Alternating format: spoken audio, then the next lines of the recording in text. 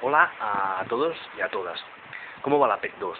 ¿Bien? ¿Estáis trabajando en ella? Muy bien. Venga, ánimo que vais bien.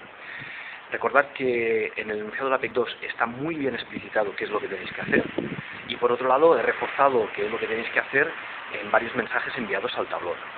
Os envío este mensaje para comentaros que ya tenéis las eh, notas de la segunda actividad de la PEC 1 disponibles en el registro, por lo tanto las podéis consultar y quería comentaros al respecto de esta segunda actividad de la PEC1 algunas cosas. Algunos os habéis olvidado de entregar, de trabajar, de realizar algunas cosas que se pedían en el enunciado de forma explícita. Por ejemplo, la planificación. Algunos no la habéis presentado, no la habéis hecho. Leed bien los enunciados, por favor. Por otro lado, también os quería comentar que en algunos casos habéis desarrollado poco y profundizado poco los apartados que se pedían. Por ejemplo, en algunos casos algunos habéis resuelto la planificación escribiendo cuatro líneas, cuando, bueno, pues se podía haber presentado un calendario indicando cuándo se iban a hacer las cosas, qué cosas se iban a hacer, con qué recursos, etcétera.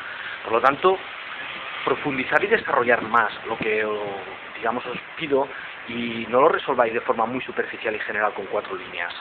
Y por último, mmm, comentaros que bastantes habéis, eh, no habéis utilizado los recursos estilísticos que un procesador de textos os permite.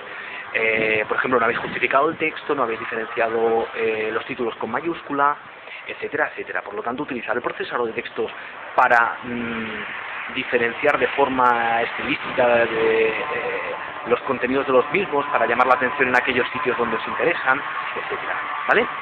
Venga, ánimo con esta